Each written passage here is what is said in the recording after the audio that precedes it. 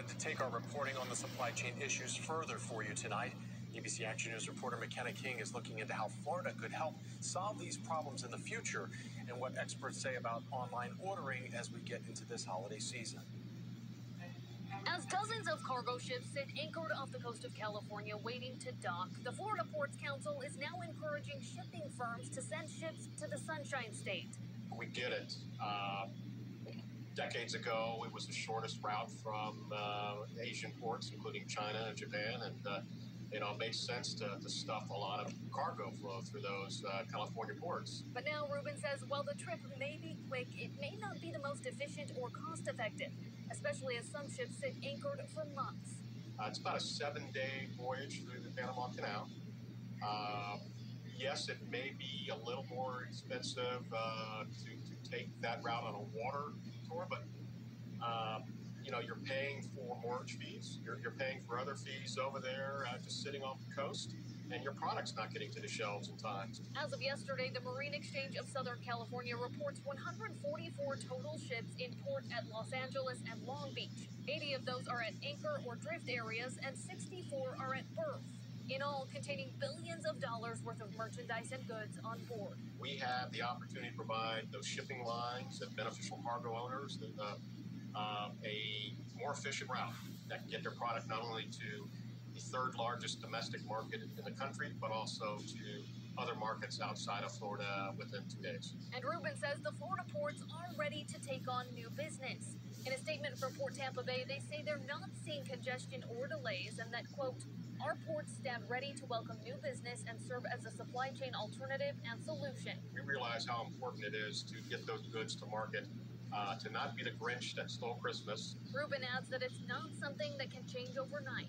We need to send that message to the major retailers. But something he's hoping Congress will work on in order to create more efficiency in the future. COVID added to it, but I think it's it's just it, it, you know you've got a growing population that's not slowing down anytime soon. Uh, so it's it's I, I think this is a reflection of a mindset. In the meantime, as the logjam persists, he says if you have not started holiday shopping, it's getting to be too late.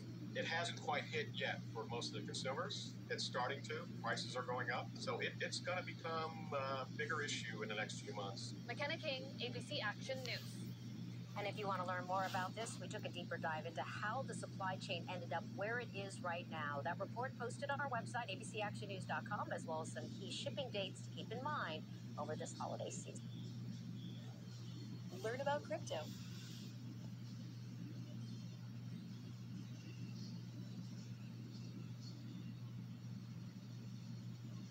There was a tense face-off between warships from the United States and Russia.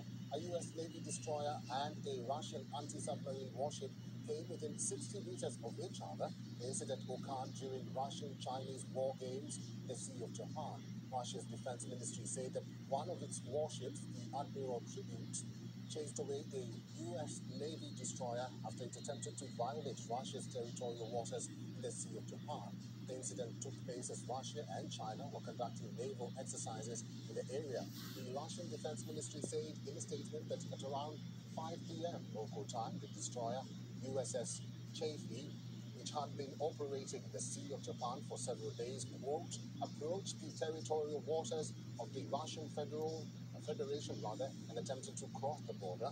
Russia's Admiral Tributs destroyer issued a warning to the U.S. ship about the inadmissibility of such actions as the area was closed to navigation due to the exercises with artillery fire. Earlier on Friday, Russia has said it held joint naval drills with China in the Sea of Japan and practiced how to operate together and destroy floating enemy mines with artillery fire. Russian media reports claim the Russian Defense Ministry summoned the U.S. military attaché was told of the unprofessional actions of the destroyer's crew, which had rudely violated international laws on the prevention of collisions of vessels at sea. As expected, the United States military has denied the Russian version of events.